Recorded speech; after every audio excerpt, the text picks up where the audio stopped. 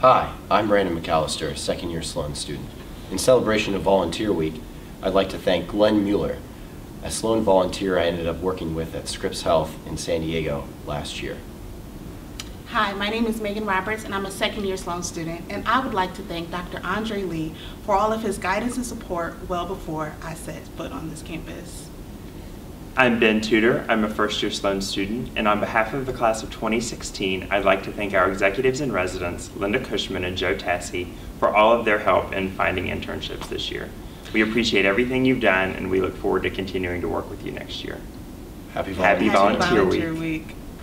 So I was about to Did say you, did you extend your Yeah. your thing?